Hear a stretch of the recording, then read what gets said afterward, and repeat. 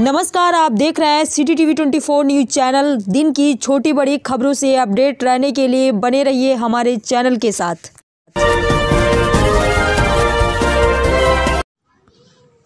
नमस्कार, आप देख रहे हैं सिटी टीवी 24 न्यूज़ चैनल और मैं हूँ आपके साथ सना हुसैन।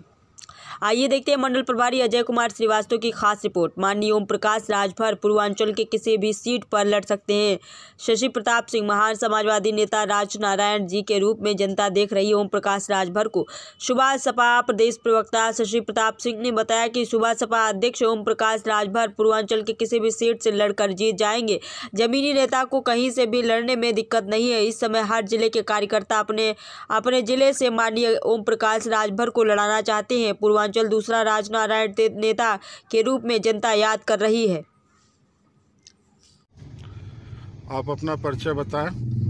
मैं शशि प्रताप सिंह प्रदेश प्रवक्ता सुलदेव भारतीय समाज पार्टी।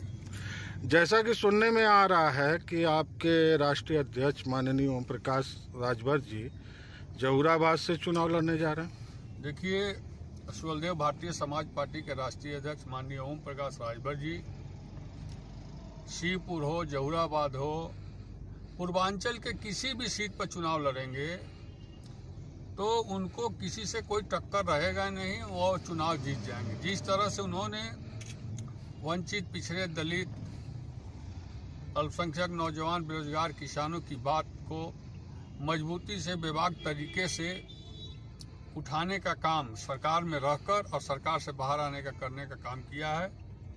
यह काम आज तक किसी ने नहीं किया था। और जिस तरह इन्होंने सरकार में रहकर और सरकार को आईना दिखाने का काम किया, गरीबों के सवाल पर, शिक्षा के सवाल पर, बेरोजगारी के सवाल पर, छुट्टा पशुओं के सवाल पर, किसानों के धन दुगनी करने के सवाल पर, और आज पूर्वांचल के हर विधानसभा से जनता, कार्यकर्ता लोग यह मांग कर रहे हैं कि ओम प्रकाश राजभर जी गाजीपुर से लड़े मऊ से लड़े आजमगढ़ से लड़े बलिया से लड़े बनारस से लड़े जौनपुर से लड़े किसी भी ज़िले से लड़े और वह चुनाव लाखों वोट से जीतेंगे। तो क्या ओम प्रकाश राजभर जी अगर जहुराबाद से चुनाव लड़ते हैं तो शिवपुर विधानसभा से किसकी उम्मीद की जा सकती देखिए वो उनके ऊपर छोड़ा गया है और हम लोग बनारस ज़िले के कार्यकर्ता हम लोग ने मांग किया है कि माननीय राष्ट्रीय अध्यक्ष जी यहाँ से चुनाव लड़ें।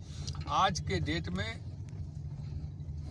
माननीय ओम प्रकाश राजभर को समाजवादी नेता राज नारायण जी के रूप में जनता देख रही है और आने वाले समय में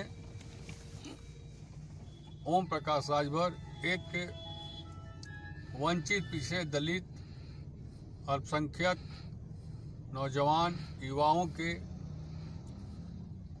हित के लिए एक बड़े नेता के रूप में जिस तरह से उभर रहे हैं, मैं आशा ही नहीं, पूर्ण विश्वास करता हूँ।